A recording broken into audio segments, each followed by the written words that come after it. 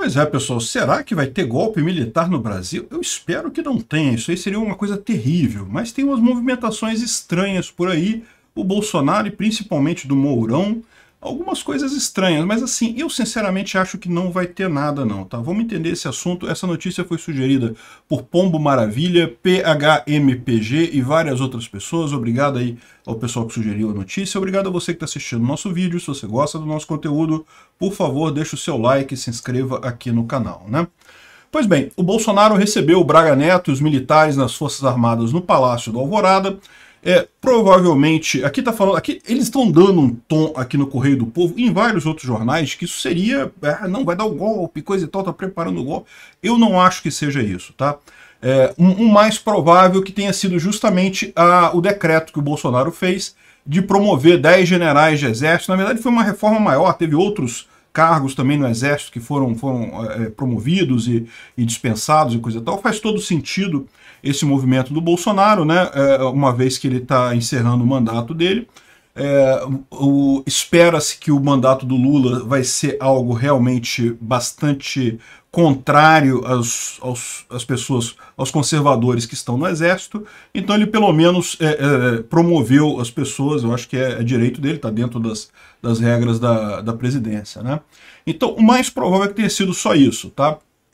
Mas o fato é que ninguém sabe exatamente o que estava nessa agenda lá que eles discutiram lá no Palácio da Alvorada, o Braga Neto e os vários oficiais e o Bolsonaro é, recentemente. Né? É, é, Bolsonaro parece que está realmente muito preocupado com a questão do TSE, das urnas e coisa e tal, mas esse tipo de coisa é o que eu falo para vocês. Né? A gente viu um monte de coisas, e, é, é sempre isso, gente. Toda eleição é isso. Você tem um monte de números que parecem estranhos, mas na, na hora de provar a fraude, provar, comprovar uma fraude, não tem como, né? Devido ao sigilo do voto. Já falei isso várias vezes, né? Não estou dizendo que não tenha, de repente tem, mas eh, não dá para provar a fraude. Então você fica sempre nesse, nessa situação, né? E a ação do PL lá com aquele negócio do número da urna, coisa e tal, como eu falei para vocês, eu achei que me parece um bug aquilo ali. É um bug, mas também não quer dizer que a eleição foi fraudada por causa daquele bug, né? É uma coisa que realmente não tem essa gravidade toda Uh, e mais do que isso, como eu falei para vocês, o pessoal vai entrar com uma ação no, no TSS, acha que o Xandão ia decidir diferente do que ele decidiu? Né? Lógico que não, né?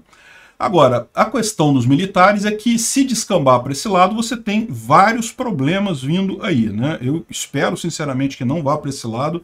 Como eu falei para vocês, eu acho que é, é, o uso de força nunca é a solução. Essa ideia de você... Eu fiz um vídeo há um tempo atrás já sobre o problema do rato, né? Que era o, o fazendeiro que comprou um gato para caçar o rato e aí o, o, gato acabou dando mais prejuízo que o rato. Aí ele comprou um cachorro para dar um fim no gato, porque o gato está dando prejuízo. Aí o cachorro acabou dando mais prejuízo ainda. É, não adianta. Mais violência nunca resolve. Você resolve as coisas desescalando, não aumentando a, a, o grau de violência delas. Né? Enfim, é, agora, é, é, suspeito, né? Por exemplo, essa declaração do Mourão que o Mourão fez é uma declaração forte, né? Ele, o Mourão é o atual vice-presidente, é, é, o general Hamilton Mourão, e a declaração dele, olha só, some-se a esse estado de coisas a foto do presidente do TSE ladeado por alguns comandantes das PMs, materializando o ápice do autoritarismo e ferindo de morte o pacto federativo. Hoje rumamos para um precipício. Assim, é chegada a hora da direita conservadora se organizar para combater a esquerda revolucionária. Olha os termos, né? Necessário é reagir com firmeza, prudência e conhecimento dentro dos ditames democráticos e constitucionais para estabelecer o estado para reestabelecer o estado democrático de direito no Brasil, né?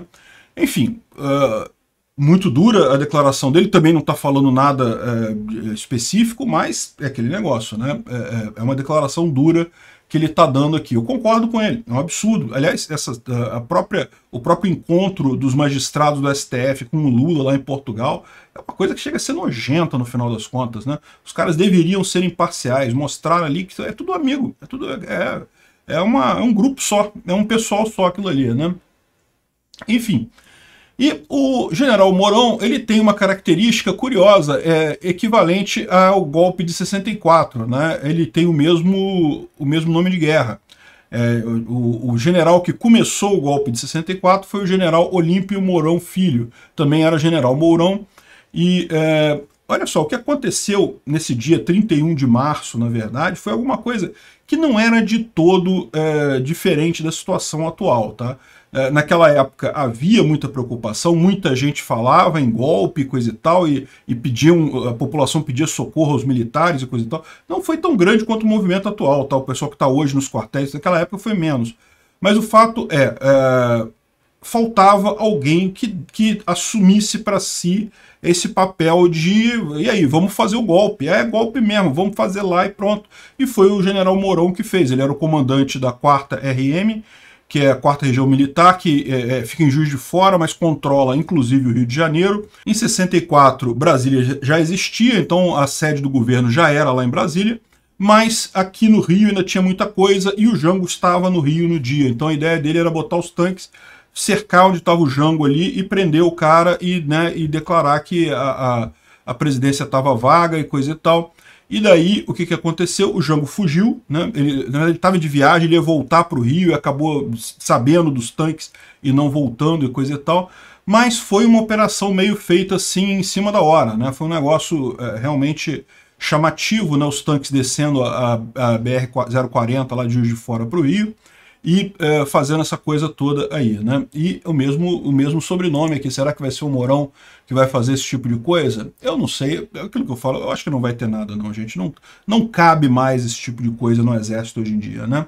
Enfim, é, teve, não, foram, não foi só o Mourão, teve outros oficiais da ativa do exército que, segundo o UOL, atacaram o Supremo Lula e Alckmin nas redes, ou seja, você sabe que o Lula vai entrar, ele vai fazer a mesma coisa que o Biden fez lá nos Estados Unidos, que é fazer uma limpa nos militares, vai sair expulsando toda essa galera mais ligada ao governo Bolsonaro, é, pode ter certeza que eles vão fazer isso.